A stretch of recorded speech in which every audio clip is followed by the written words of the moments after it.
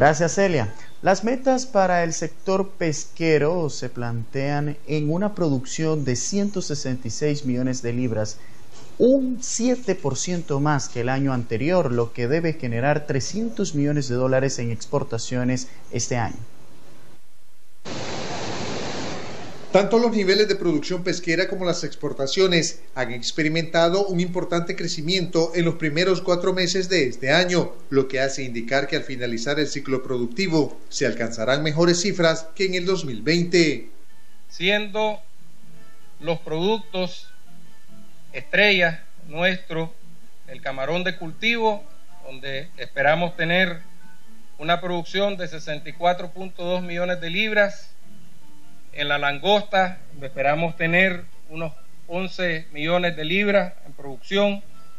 El pepino de mar, unos 12.5 millones de libras. La producción pesquera nacional cubre el mercado local y las exportaciones, que se calculan en más de 300 millones de dólares para este año. Y entonces también tenemos proyectos dirigidos a ese sector para reactivar la pesca, sobre todo en la costa caribe, donde esperamos nosotros estar entregando bonos que beneficien a 7.437 protagonistas.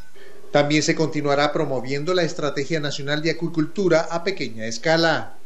Donde nosotros esperamos en este año la construcción de 1.700 estanques, poder entregar alrededor de 1.000 módulos de tanques de geomembrana y continuar con la construcción de jaulas para el cultivo de, de peces marinos.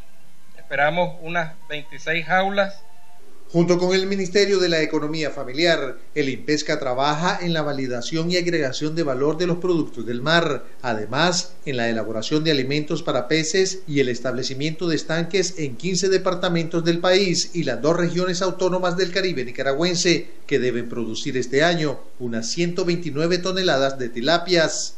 Para TV Noticias, Román Rodríguez,